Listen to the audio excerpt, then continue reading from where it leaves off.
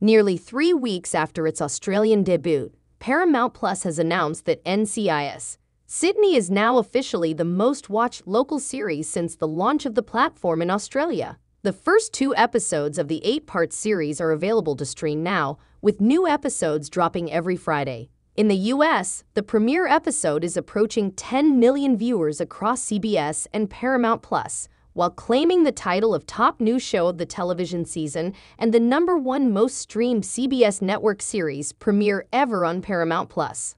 On Tuesday, 14 November, the premiere episode was the top show of the night in viewers, 5.6 meters L plus SD, and lifted to 7.25 million viewers in most current data. CBS re-aired the premiere on Saturday, 18 November, bringing the cumulative viewership of the first episode to 9.65 million viewers.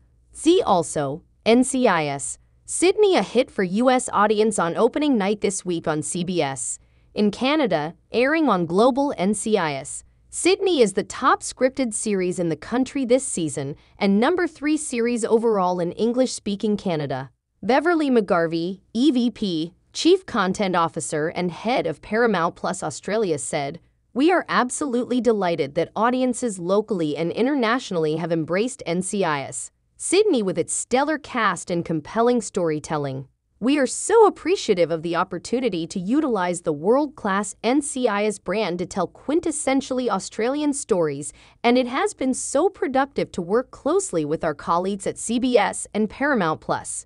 Amy Reisenbach, president of CBS Entertainment, said, These viewer numbers for NCIS Sydney demonstrate the global strength and popularity of the NCIS franchise and highlights how strong characters and storytelling continues to resonate with the CBS audience.